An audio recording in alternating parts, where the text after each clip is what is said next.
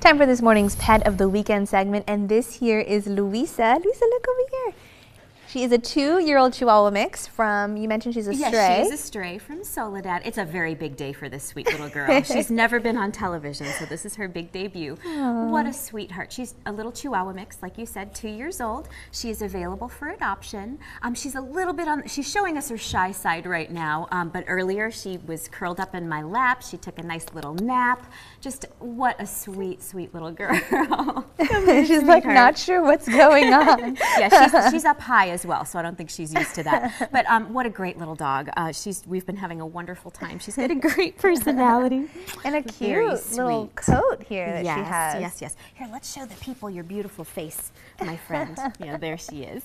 so Aww. yeah, we've been having a wonderful time, and she's just a doll. So um, yeah. um, she's available for adoption. We open up at 11 o'clock this morning, so we hope to see everybody out there. And she did take a little little warming up too. She she kind of yes. took steps closer to me. Finally gave me a little kiss. Yeah, she's a little bashful. She's a little bashful, but in, in no time she comes right out of her shell and she'll have lots and lots of fun with that new family. That's so we great. can't wait to find her a new home. And you mentioned for people who already have a pet, if they want to do some training, they can do that at the yes, SPCA. Yes, yes. We have a wonderful variety of training classes and we have a whole new round starting next Saturday. We have everything from puppy classes to family dog class, teaching you the basics. We have a wonderful out and about class. So if you're, you know, if your dog's a superstar in class with all the sit, down, stay, all of that, but when they're out in the real world, those skills may go out the window just a little bit because there's lots of lots of stuff going on. Um, that's a wonderful class where we take you out and about with your dog and um, go to our website, find out more. That's so. great, and we'll have that here on your screen.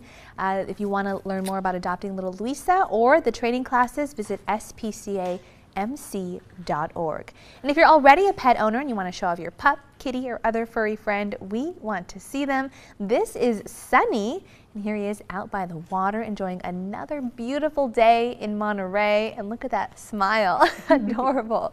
If you'd like to see your pet on TV, upload their photo to the U Local section of our website, ksbw.com, and each week after the Pet of the Week segment, we'll show off some of the best photos you send in here on Action News Weekend Sunrise.